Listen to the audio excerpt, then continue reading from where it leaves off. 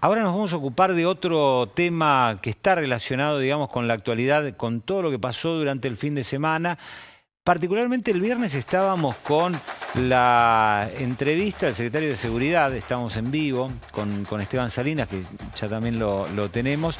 Eh, se estaba anunciando este, la Secretaría de Seguridad, distintos eh, eh, grupos que iban a estar trabajando, desde Defensa Civil, obviamente el área de seguridad, obviamente distintas áreas de la policía, la APREVIDE, eh, hasta la Fiscalía General iba a estar este, activa durante este fin de semana para prevenir cualquier situación que se pudiera eh, generar, digamos, y que empañe en algún sentido todo esto, con este, características de un diagrama, por dónde ingresar al estadio, en qué horario se abrían las puertas, por dónde se iban a hacer los cortes de tránsito para que la caravana de Alvarado pudiera llegar hasta allí, con un Aldo Civi que iba a estar... Eh, eh, concentrándose, viendo por pantalla gigante, bastante lejos del lugar del, estadio. Y todo esto, más o menos, mira ahí la, imagen, Esteban, de lo que era este, la, la caminata de muchísimos hinchas de, Alvarado y con una calle Jara que estaba prácticamente tenida de eh, celeste y blanco, con, con todo este, los pasacalles, digamos, de, banderines, este, dándole un colorido muy especial, ¿no?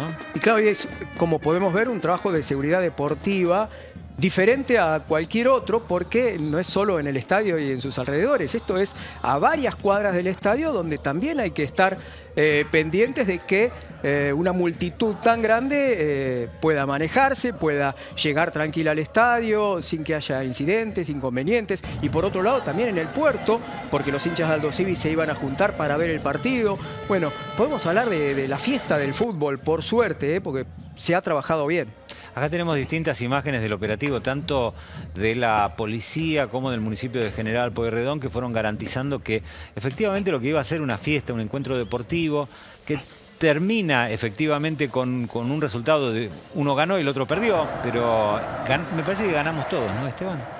Sí, por suerte volvió el clásico a Mar del Plata, se puede jugar, cosa que era lo más lógico del mundo, pero tantos años, tantos años que estaba prohibido. Bueno, se pudo hacer, fue una fiesta y eh, en gran parte en este caso Alvarado tiene, tiene mucho que ver porque eh, son los locales, son los organizadores y la seguridad también pasa por ahí. Bueno, nos vamos a ir al móvil con Daniel Scufi para hablar estos temas. Hola Daniel.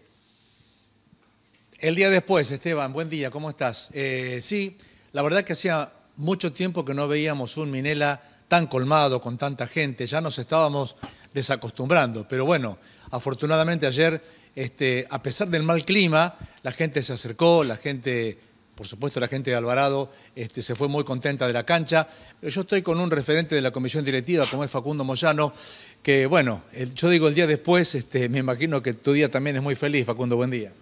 Obvio, obvio, como todos los como para todos los hinchas de Alvarado, es un, es un día soñado. En realidad ayer fue el día soñado, hoy fue una mañana hermosa y bueno, ya estamos disfrutando esto y por supuesto ahora eh, enfocados nuevamente en lo que, lo que respecta al torneo, el viaje a, Santiago del Estero y bueno, y todo lo que falta, ¿no? Porque si bien eh, hay que disfrutar eh, esto que esperamos 27 años, pero bueno, finalmente se dio este día tan, tan importante para, todos los hinchas de Alvarado y para el fútbol de, la ciudad. la idea es de que Mar del Plata tenga un equipo en primera. Si tiene los dos, mejor, pero digo, eh, en ese aspecto, ¿están apoyados? ¿Se sienten que la, ciudad está este, apoyando un posible ascenso?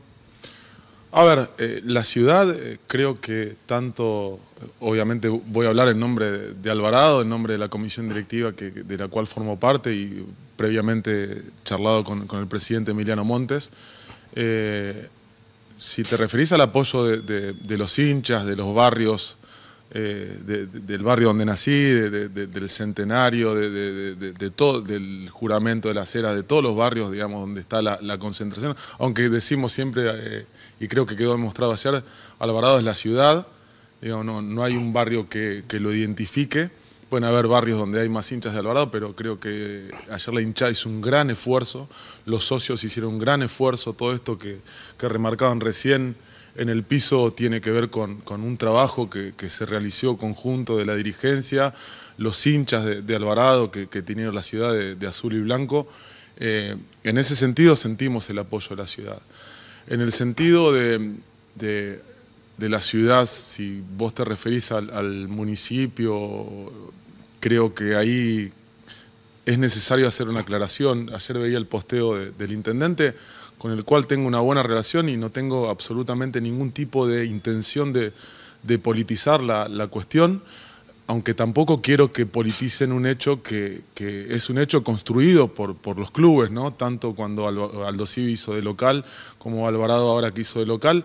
Hicimos un gran trabajo y venimos realizando un gran trabajo hace tiempo para que esto se pueda dar y que se dé en el marco que vimos ayer y que todos pudieron disfrutar, ¿no? en un día para nosotros soñado, porque obviamente fue una victoria, pero eso es un resultado deportivo. Ahora, eh, la Intendencia... Eh, no hizo nada para esto, ¿no? ni siquiera convocó a, hacer, a, dar un mensaje de, que puede existir rivalidad, pero, pero sin violencia. Eso lo hicimos eh, nosotros, eh, me contactó con algunos dirigentes de, Aldo Civi, eh, es más, ayer saludé a, Juan Manuel Chepi que se encontraba en el estadio.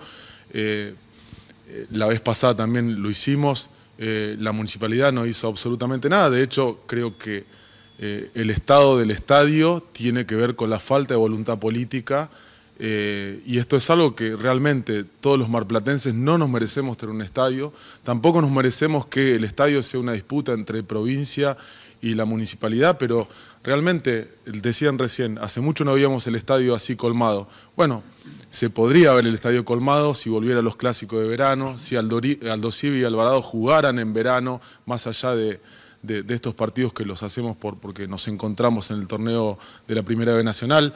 La selección argentina podría jugar en el estadio José María Minela si realmente hubiera preocupación por parte de las autoridades políticas eh, de la provincia y de la municipalidad, porque, a ver, eh, no, no queremos ver más eh, escaramuzas ni puesta en escena de que viene el presidente de la AFA.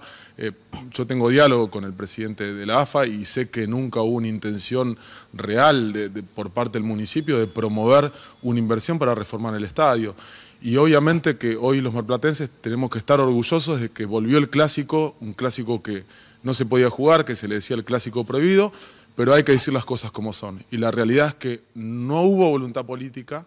Por eso no hay que felicitar eh, más que a los hinchas de Alvarado y también a los hinchas de Aldo Civi, a los dirigentes de Alvarado, que hicimos un gran esfuerzo, al presidente Emiliano Montes de la cabeza y también a las autoridades del Club Aldo Civi que, que jugaron tanto cuando hicieron de local como ahora, a la altura de las circunstancias. Facundo, ¿qué tal? Esteban Salinas, te saludo desde acá, desde el piso.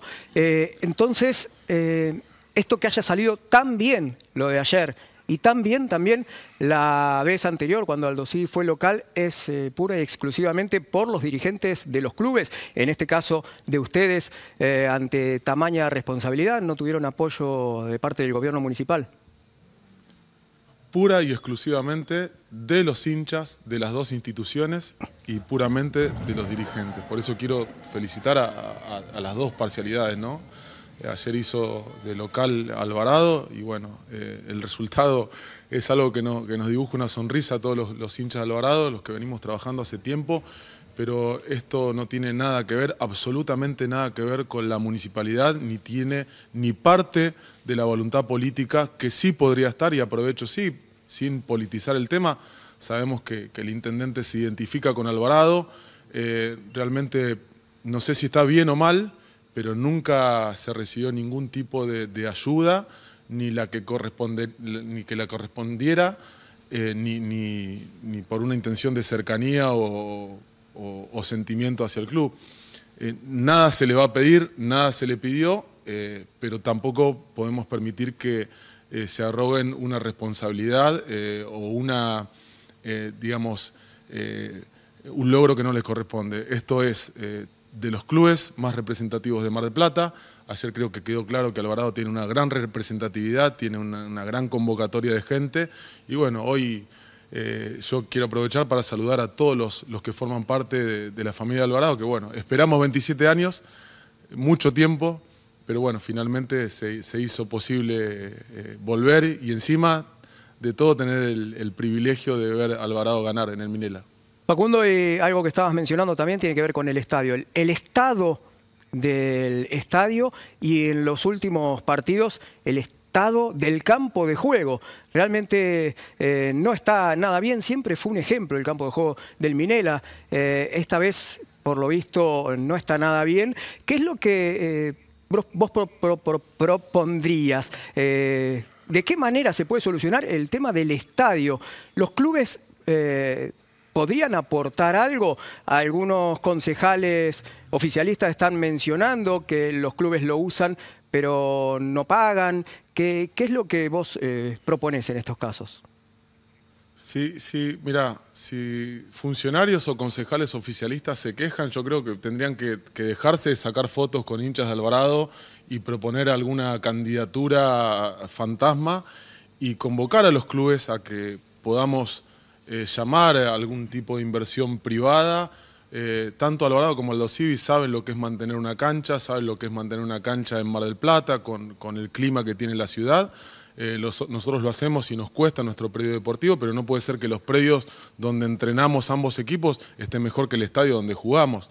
esto tiene que cambiar, pero no solamente tiene que cambiar porque es fácil echarle la culpa a los clubes. Ahora, Mar del Plata necesita volver a tener a River a Boca, necesita volver a tener a la selección argentina jugando y para eso tiene que haber una preocupación y tiene que haber voluntad política de cambiar esto. Si los clubes eh, tienen que poner algo, eh, eh, lo vamos a hacer y lo vamos a hacer con, con total compromiso y responsabilidad de saber que es el estadio donde hacemos de local. Bueno, y en este caso cuando jugamos con los dos de, visitantes, ¿no? El estado de la cancha es, deplorable, el estado del estadio es deplorable, a riesgo de derrumbe, está, está suspendida hace rato la tribuna techada, digamos, esto se cambia con voluntad política, por eso a veces molesta que, algunos funcionarios del Ejecutivo Municipal se vayan a, proponer o critiquen pero a la vez eh, le quieran sacar algún tipo de provecho político al Club Alvarado. Y te lo, dijo, te lo estaba diciendo alguien que estuvo en política durante mucho tiempo y que nunca tuvo la intención ni la va a tener eh, de, sacarle algún tipo de provecho y tampoco jamás le vamos a pedir absolutamente nada a la municipalidad ni al intendente. Como no lo hicimos, no lo vamos a hacer ni con este intendente ni con los anteriores intendentes, que algunos también se decían o eran hinchas de Alvarado, no vamos a poner en, en cuestión si son de Alvarado, eh, de Aldo Civi, de Mar del Plata o de alguna atrocidad. No lo vamos a poner en cuestión. Lo que estamos sí, lo que sí ponemos en cuestión es que no se suban a un logro que no les corresponde.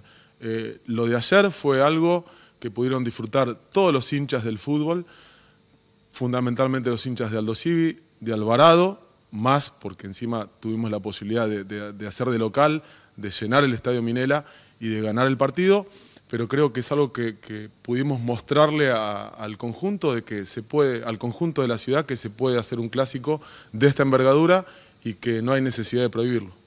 Vamos a cerrar con algo deportivo, ¿eh? porque Alvarado, el hincha de Alvarado o cualquier hincha de fútbol siempre quiere un poquito más, ¿viste? Ayer se ganó el clásico, pero ahora queremos ascender a primera. A ver. Eh, ¿Se puede este año? ¿Hay que seguir trabajando a futuro? Yo tengo una, prohibición que me la autoimpuse, que no, yo en algún momento dije eh, que el objetivo era ese. Eh, hay que trabajar. Hoy lo hablábamos con, el técnico, con, Gómez. Hay que seguir trabajando, hay que disfrutar. Hoy tienen los jugadores para disfrutar. hoy tenemos todos para disfrutar esto y seguramente quedará en la historia. pero hay que, hay que seguir trabajando. Esto es todos los días. Eh, la verdad que bueno, hay que felicitar al técnico que tuvo desde que llegó tres partidos al hilo hace mucho tiempo, creo que desde el 2019, desde el ascenso a la Primera B Nacional, no ganamos tres partidos seguidos. Hay que seguir trabajando, hay que seguir trabajando. De la única manera que, podemos aspirar a, eh, a, un logro más es encontrarnos en instancias de, disputarlo y hoy estamos apenas en el reducido. Así que esto es así, la categoría es así, ganás dos partidos, estás mirando para abajo, ganás eh, perdón, perdés dos partidos, estás mirando para abajo, ganás dos partidos y estás ilusionándote. Así que eh, sin perder la esperanza y la fe y la ilusión, hay que seguir trabajando. Gracias, Facundo. A vos. Bueno, de la alegría de Alvarado, del Minela, que necesita, por supuesto, lo necesitamos los marplatenses para que vuelva el fútbol de verano, para que venga a jugar la selección, la Copa Argentina.